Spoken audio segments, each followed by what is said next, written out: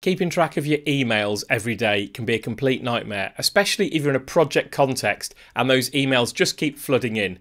Add to that, perhaps your project has to work with multiple shared mailboxes or maybe just multiple normal exchange mailboxes, but you need to keep an eye out for tasks that may land in any of those mailboxes.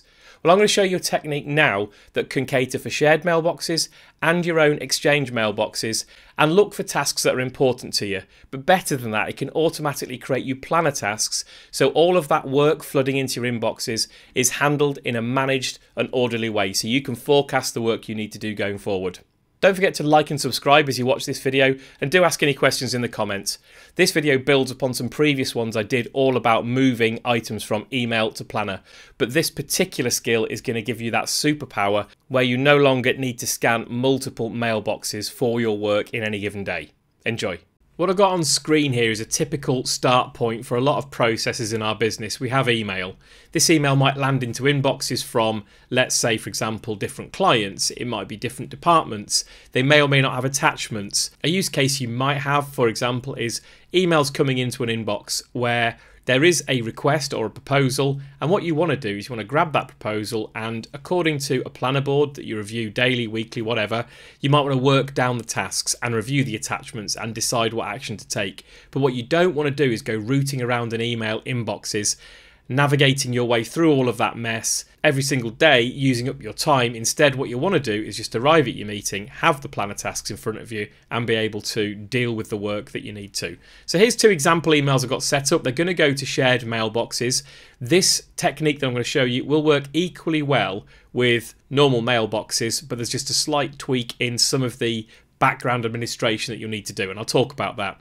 So let's kick off. First of all, there's going to be two emails that will land. You can see here one shared mailbox, another shared mailbox. I've put a title in, I've put some body text in, and each of them I've grabbed some images on this one and I've grabbed a document in this case. Let me just send those and then I can talk you through what's going to happen. You can see on screen here that this flow ran successfully and it might look relatively simple but there's a reasonable amount of configuration behind the scenes and let me just step you through that. So what you're seeing on screen is a flow run for one of those emails. The important thing to register here, if I just click edit, is that I've set this particular flow up to monitor multiple inboxes and that's crucial to this uh, flow being useful to me. I could have multiple flows. I could have one flow per shared mailbox, but I want to manage one place and continually add mailboxes to that one place. And this is how I've done it. You can see here I've got the two mailboxes being monitored. This is just a standard when a new email arrives action or trigger, sorry, in Power Automate. If I just delete it and I'll rebuild it to show you what it looks like, we'll just get rid of that and we'll add the trigger and we'll go and search for email triggers. So we're looking for the Office 365 Outlook group and when a new email arrives, version 3. That's the one you want. So if we have a look at the parameters, all I've done is I've said make keep watch for an email address. And I can just type that email address in here. And I've got two that I can set up because I've used them, it's remembered them. That's quite handy. Um, and it will just monitor the inbox for those email addresses. Now you can set other things. You can decide whether you want to exclude emails where there's no attachments. So for example, only look for emails with attachments. I've got that turned off. You can choose to have these things forwarded to a particular folder, but here this is just all default. And all it's doing is monitoring those two mailboxes. Now, the big question that I had in my mind that I'd just like to divert to show you is why am I using this trigger as opposed to, I'll just delete this, and there is another trigger. If we look in the list of triggers here, there is a trigger that suggests it will monitor for when a new email arrives in a shared mailbox. Now, this looks identical to the one that we've just tried, but it doesn't work the same. What you'll try to do is you'll try to put in, for example, M365, this is my one, and maybe the UI infers that you can do this, M365 shared too. When you save this flow, it will not work because this particular trigger can't cope with testing multiple email addresses to see if they've been fired. Whereas the one that I did show you, again, just delete it, apologies for repetition, but it's kind of worthwhile showing you this. The when a new email arrives, this one, can cope when we do the advanced filter with multiple email addresses in its to field. And again, the next question you might ask yourself is, well, hang on, that isn't the email address where these have been landed, is it? Well, what I've actually done in the background, and I'll just very quickly show you this, is if we go to Exchange Admin and we look at mailboxes, what I've actually done to make this work is I've set up mail forwarding on that mailbox. Important to keep the uh, message in both the original mailbox and the one you forwarded it to. So here I've forwarded this to myself. And if you notice, the eagle eyes of you might have noticed, back in the flow, when this new email arrives connection is actually authenticated to that same email address here. So what's actually happening is, although this is, let's say, a personal mailbox, because mails are being forwarded to that personal mailbox, anything in the remit of that account, the John Mandeville account in my case, is being monitored. And as soon as one arrives, this action is actually picking it up. I can't fully explain exactly why that's happening, but it's a fantastic little hidden feature that I discovered to let me monitor multiple shared mailboxes. So as a recap, what you need to do is use this trigger when an email arrives and set up a mail forward from your shared inbox. Then what you can do is you can start to do some clever stuff like storing the inbox for the planner team. So um, I'm going to store the recipient's or the to mail address. What that means is when I sent it to M365 Shared 1, it'll store that value here. And using that value, what you can then do is go on and start to use other actions in Power Automate to decide where you want to put particular actions from that email. So let me just step you through that. Now I've explained the importance of this trigger here. I'll go back to the actual run and I can talk you through it. So we can see here, this, this has run and it's run in this case for the mailbox whose ID is shared one. It's stored that piece of information here. This task ID is going to be used later on for adding to Planner dynamically. I'll talk to talk to you about that one in a moment. That's just set up as a generic variable, called it task ID.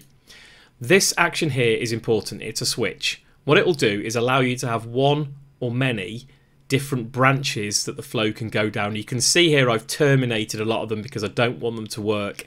But what I have done is I've set up the different legs to show what will happen if, for example, an email comes in with the M365 email address on or the M365 shared to email address. Let me just go back into the flow there and show you what I've set up. So what we're doing is we're watching on the body of that mailbox. So store the mailbox, we watch that. That's an email address. Depending what we find, so in this case M365 shared 1, in this case M365 shared 2, we're going to perform the actions in that leg of the switch.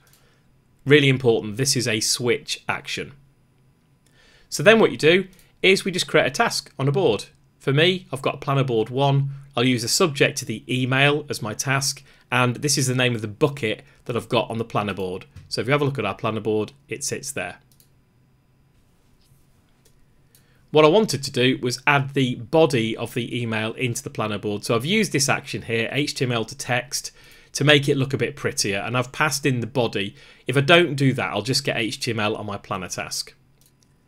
This action here is important because what I'm then going to do is I'm going to place that body into the description on the planner task. So whenever I create a new planner task, I have the ability to add notes. That's what it calls the description. So that's what I'm going to do. So the other important thing, because I'm going to leave this group here, is that I'm going to catch the task ID of that planner task that I just created so I can use it later on to add attachments to if those attachments exist in the email. Here, this is just a set variable action. And what that's doing is it's adding the values to the initialize variable that I created earlier. I've done it like this so that each leg can uniquely set up a task ID into that variable above. Which means that no matter how many legs I've got, I'm always going to end this section of my flow with a task on the right board because I've noted where that board's going to be with each of these individual actions. You can see this one is a second board. Each of them is going to have a task and I'm going to have a unique ID for the task that I've just created. For many of my emails, that may be enough. So the next step that I want to take for some of my emails is to create attachments on those planner tasks. And here we've got a condition. Let's just zoom up for you. The condition tests to see whether the email that's triggering this flow has an attachment. That's a property of the trigger. So if we scroll down here, I can show you the trigger coming in. In fact, let's just type it here. Has attachment. So when a new email arrives as the trigger, that's the property you want to hook into. And if it's true, then we know there's an attachment. There's a further test I do in lots of other videos, which is to say, okay, for every attachment that I've got, so for each of those attachments, just check that it's a genuine attached file and not just an image. And that's why we've got this other leg to say, is it an inline attachment, i.e. just a picture? And if not, great, let's go ahead and do the work on the attachment. I've done this in another video, but I'll quickly recap it for you. What we do is we get the current attachment, so we hook into the message ID from the email trigger, and we hook into the attachment ID that's in this loop, and then we go and create a file in a document library. We give the file a name, so in this case I'm using the name of the attachment, and this is an important piece of information every attachment, if I just show you what that looks like, has something called content bytes. So when we get the current attachment, that action there results in these three items here, and it's content bytes that you want. What I'll do is I'll go and create a file in your document library. Now this next step is important, I've discovered it's important to go and add something to that document and I'll explain why in a moment. If you update the file properties you can see here what I've done is I've said okay well I've just created a file I'm going to use the ID of that create file so let's just type ID so it's the body item ID and I put that in there what do we want to update well for me I've just put the person that sent the email in the title column on my document library what that then does is it allows me to use the outputs from this update, update file properties to get a link to that specific file. If you don't do this, I'll try and explain this and I, please do ask questions if this doesn't make sense. If I don't do it and I just try to use when I create the file, if you have a look, there is no specific link property that I can hook into. I can't get a link to that document. So what I discovered is I have to use this update file properties and when that is done you'll notice there are way more properties that are exposed to me and if I scroll down here slowly you'll see it. Give yourself a shout if you spot it. There it is. Link to item. That allows me then to store that in a compose and then update the task details and I've shown you this again in another video update the task details for the very specific ID. That's why we saved the task ID here because it could be this one or it could be this one. Use that and basically put attachment as the title, which we could configure, and a link, which is the link we've just grabbed. Excuse me, that's too big for you. Link we just grabbed over here. We place that into this JSON here. What that'll then do, I'll just run this to show you what it looks like, is that will then paste that information into the planner task that's already been created.